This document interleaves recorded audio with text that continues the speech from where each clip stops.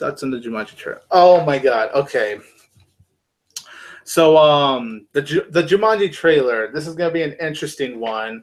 Um, I know there's a lot. Uh, there's just something about so many trailers that gets so much controversy. There's just something about it. But I can't deny that I actually think the trailer was a lot of fun. I actually think this movie could be a lot of uh, could be a blast, a huge blast. I mean, I like The Rock, I like Jack Black, I like Kevin Hart, I like Karen Gillan. I pretty much, um, not pretty much, I love honestly all four of these guys. I think this is a great cast right here, and the fact that they're switching it up, like whereas in the first film it is a board game, the second film is gonna be more of them going into the video game world. So we're focused on a on a Jumanji video game console, which I could see why would bother people because we're so used to the board game.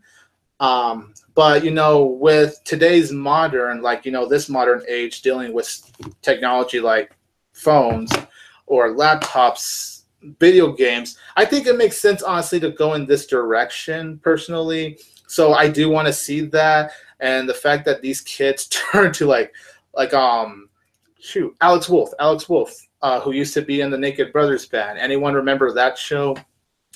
Yeah he's actually in here and he's gonna be the rock like the minute he goes into the game. But then of course the funniest thing is having that stereotypical pretty girl um, being Jack Black. So I think that's hilarious. The comedy for what I see in the trailer looks really funny. I think the location, like the jungle, it looks really good. I do like the cinematography from how, from how it is shot.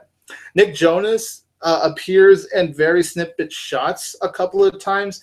So it's going to be pretty cool seeing Nick Jonas here. And honestly, I just think the movie could be a ton of fun. I really am a sucker for adventure movies. Um, and I know in some ways this is like a continuation. I know Dwayne Johnson said this will honor, you know, Robin Williams. Rest in peace to him.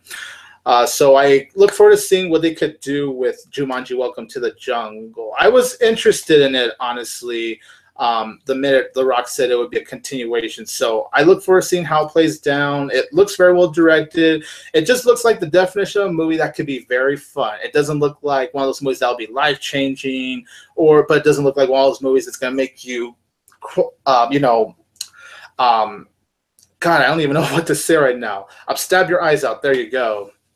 Although I know to a lot of people, however, that's a different story. But for me, I do think Jumanji Welcome to the Jungle looks like a ton of fun. I actually can't wait to watch uh, the movie. So I definitely hope the movie delivers on being just really fun. Doesn't have to be anything great, doesn't have to be anything terrible. I would hope it's not terrible when, when it comes out. I just want it to be really fun. So, but yeah, um, I could see why pe- there's a lot of people that aren't exactly a fan of it, but personally, I just think it could be a lot of fun. I think there's potential for sure.